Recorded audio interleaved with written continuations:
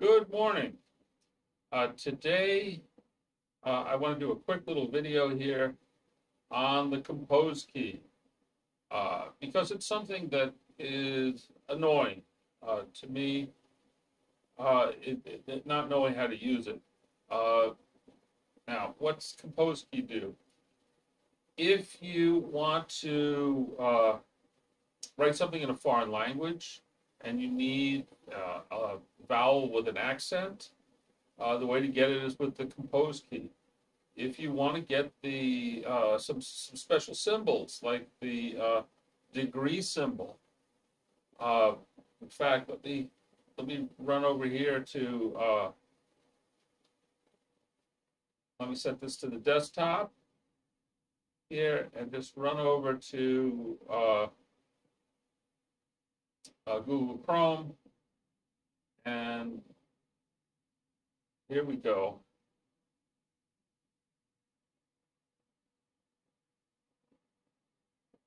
The compose key.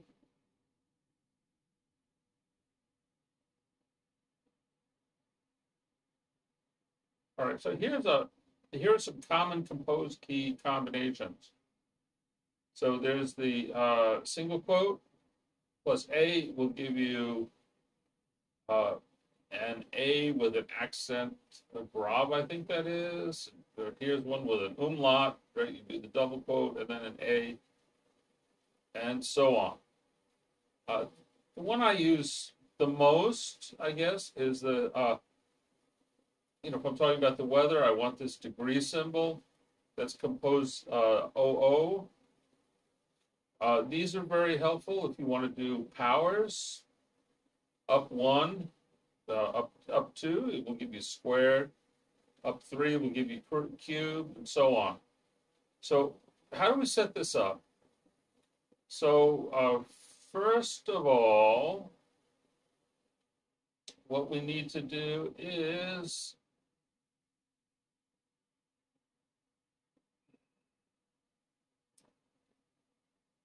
take a look at this document here at help.ubuntu.com on entering special characters. So if you go to, if you just Google help Ubuntu enter special characters, it should bring you right to this page here. And uh, this is going to tell you how to set this up.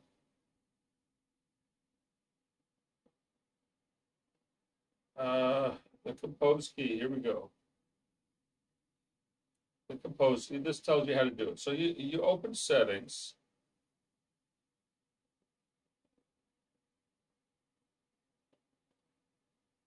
All right, so here's settings. I'm just going to maximize this. And then you click on compose key.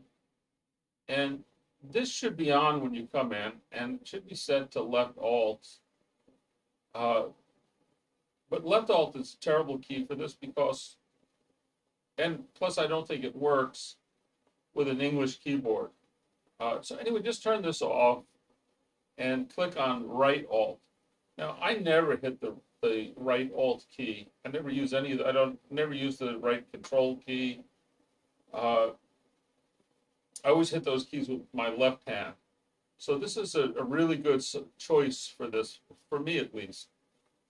And uh, once that's set, you can just exit out of here exit out of here.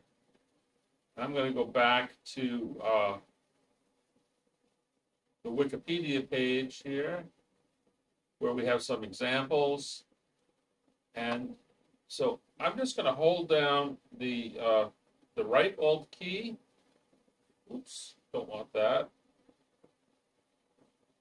And oh, I guess that pops up like that. And I'm going to hit the uh, single quote and then the letter A. And there we go. And uh, let's see, let's do uh, 25. And let's do degrees now. So I'm going to hold down the uh, right Alt key and hit 00. zero. Degrees F. All right, and uh, what are some other ones we might want to use? We might want to do uh, x squared. So I'm going to hit X, I'm gonna hold down the right Alt key. I'm gonna hit the up caret. Uh, now that is over the six, so I'm gonna have to hold the shift key down to do that. Hit that and then hit two. And there's x squared. Uh, what about one half? Let's hold down the uh, right alt key, hit the one and then the two, and there's one half. So uh, let me bring this back up again here. I think you're getting the idea. Uh, let me just maximize this. And take a look at some of these others here that you might find very helpful. Here's how to get an umlaut. You do the double quotes and then the letter. Uh, here's a circumflex.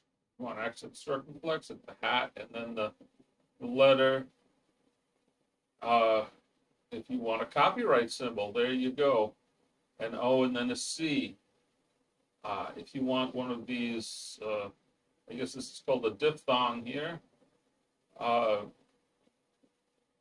that's how to get it. Compose AE. Just what you might think it would be.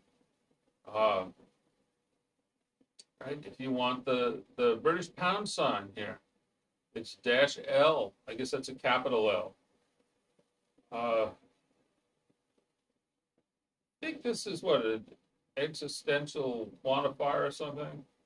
Uh, no, maybe not. Uh, if you need one though, that's how to get it. Is the double S.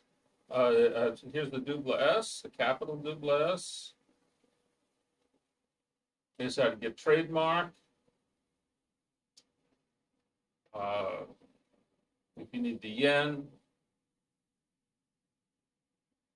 here's the, what else?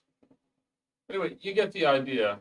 And I think there are more of these. I don't think this is a complete list.